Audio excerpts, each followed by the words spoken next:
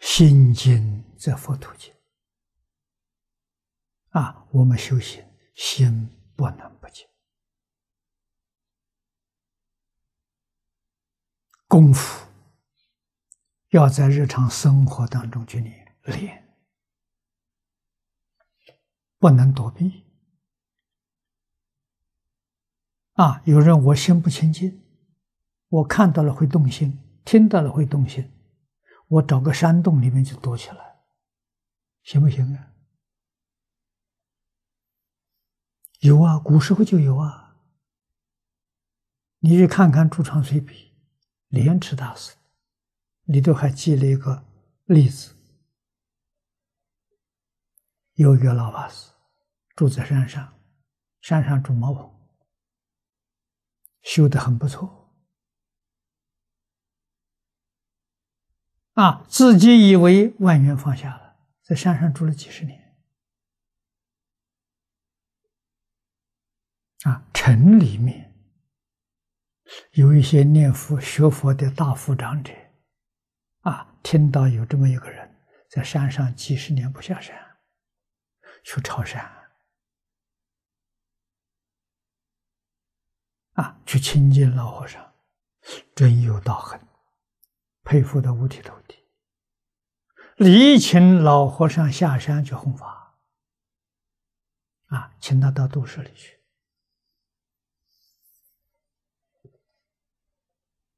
住了没多久，一两年，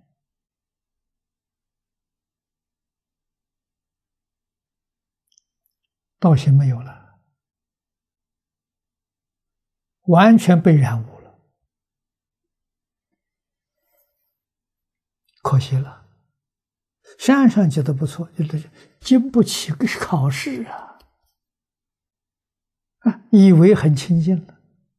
一到都市花花世界，马上就乱就乱了，啊，贪嗔痴慢都起来了，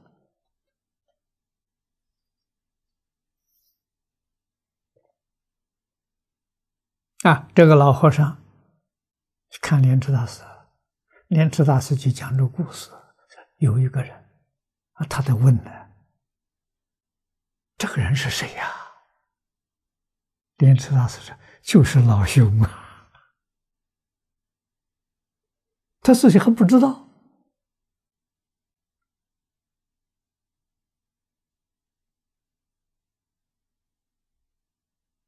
啊！那这个事情是是这讲真功夫啊，他没有真放下，他是原理心里没放下，心里真放下，离不离没无所谓呀。你要立它干什么？它是假象，凡所有相，皆是虚妄。啊，你能把这个花花世界看成电影，看成电视屏幕，你可以欣赏它，你得不到它，你不能控制它，它的所有活动是业力在控制。啊，所以你不是清净心呐。问题是，你没有真看破，住山没用，闭关没用，真正看破，放下了，闭关住山有用。啊，不住山，不住不闭关也有用。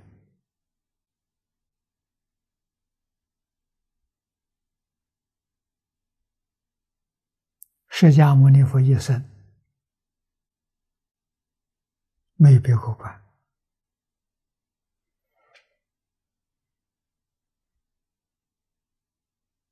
啊！慧能大师一生也没有闭过关啊！慧能大师大彻大悟之后，在猎人队里头当伙夫啊，天天。在厨房里面做厨房工作，去服侍服侍这一些打猎的人啊，打猎的人天天吃肉啊。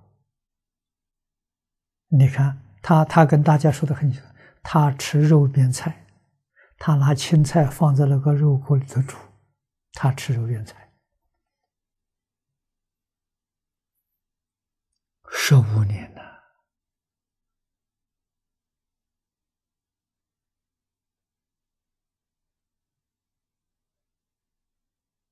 啊，南大师在猎人队里变成长工了，这都做了十五年了，做厨房啊，那什么修行？他修行功夫一天没间断，啊，修什么呢？看破放下，放下看破，他修这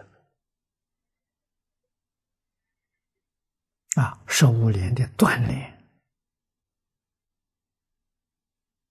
功德圆满了，这个时候出来弘法利生，缘也成熟了。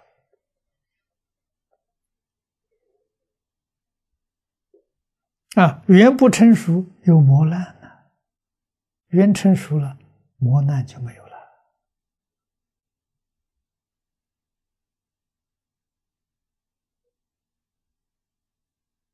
啊，这些道理。佛祖给我们做的这些例子，表演给我们看，我们要看懂啊，要能体会得到啊，要能学到啊，我们这一生才能成就。